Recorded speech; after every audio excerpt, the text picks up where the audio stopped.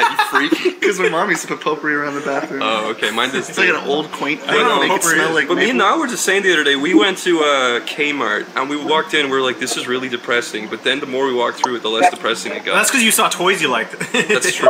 Kmart. It's like a Halo, a life-size Halo toy. No, but whenever I walk into Aldi, like I don't like going shopping. Aldi was one that I could never walk into. I don't like going shopping because it makes me depressed. Because you walk into Aldi and it's really depressing. They look sad, these the lighting like a is yellow. shower room. It's like orange and fucking. yeah. yeah. There's like drains I everywhere have with yet to black go fluid. You know what's fucked up about Aldi? Um, when you walk in the door, they um, force you to go through the first aisle to get into the rest of the store, Yeah. and the first aisle is really depressing because it's just all this cheap ass shit. Well, Aldi, Yeah. it- it's And it- awesome in some ways because they have all their own brands that are a lot I cheaper. love They're the pretty much rotting same- fruit that they leave out for days at a time. I don't buy fruit there. I remember I used to go to Rice Aldi's Krispies. with my dad, and he would give me a quarter, and that Aldi's? quarter would be mine. I would get to put the quarter inside to pull, because you put a quarter inside to pull out the, The Trolley. cart? the trolley, yeah, the cart, and then I got to keep the quarter. So I would look forward to that because I'd be able to buy shit out of the little Yeah, stupid bubble machines. And all Aldi, you could you could a whole, you're open to everything with a quarter. No, wait, we were talking about AC Moore art stores, right? Yeah, AC Moore, Michaels, those and Michaels is worse than AC Moore. I think Is it? a little bit. What about dollar stores? You guys like yeah, dollar same, stores? it's the same thing. It's oh, just depressing to walk in. I hate My, walking my in. dad owns pounds like dollar shops. Yeah, in Ireland it's different though. They're kind no, of more. it's not. It's well, you mean like dollar little bit. stores or like they're, Dollar General? they're called like discount shops, I guess you call them. They have like this reflective tiles. Like they all have these like reflective tiles where the light just shines off it, and it's just. Should, should we talk about the stores that are down the street in the in our town? oh yeah, that are just like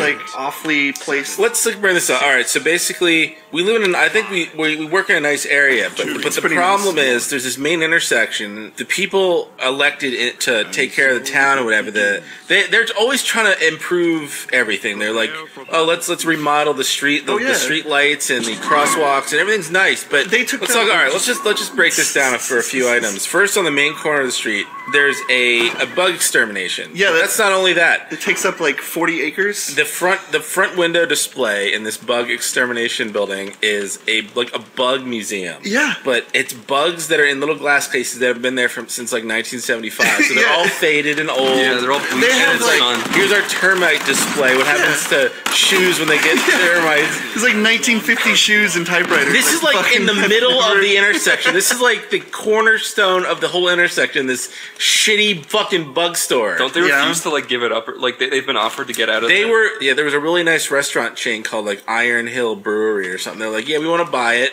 and they have a nice place. They have other nice locations around here, and, but they wouldn't sell. Mm-hmm. And let me let me talk about this other place the- across the street. This is the one that's the most infuriating. There's other places that are shitty down the street, but there's a lot of little closed consignment shops around, right? Like women open up these little shops, they put up like nice wallpaper and what? No, it's women. It's for women and not. equality, Jeff. But they have like little flower displays, and the name of the store is like some little girly name, whatever. So it went out of business, and this this uh, undesirable moved into the shop.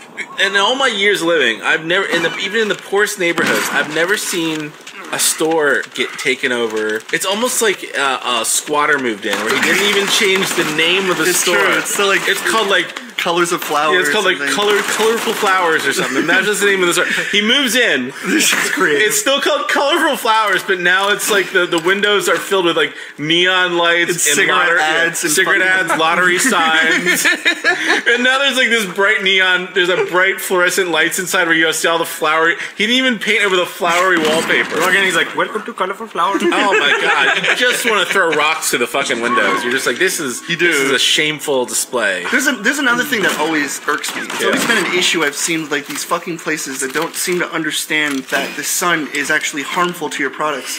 These fucking idiots who have DVDs that have been there since the 80s. Yeah, They're just yeah. fucking sun dried at this point. Yeah. And they have this this ugly sepia tone white and blue, just gross colors. Like no one's gonna buy to what, what's that movie? Um it- it's like no one's gonna buy fucking Sandlot for the for fucking VHS. Nobody's gonna buy uh, They're gonna buy Sun-Faded National Sandlot. Lampoon's Christmas 2. These aren't fucking movies anybody You ever have wants some. to own yeah, in their life. so- you have to say though, there's a little bit of charm in those old like video stores. yeah, when they're not dried by their sun. But the funny thing is, candy. He he has these like disgusting old DVDs that have never been touched in years, and then he comes out with like new shitty DVDs that, no one's ever gonna is buy. another place that should be bombed. it's, it's just, And that's next No, to the one true. that has all the old man toilets in the front store. yeah. so All these bi- Collateral damage. Of we have load of old so men. many businesses in a row that should fucking just be toilets and worthless bikes. the that nobody- entire block should be set on fire.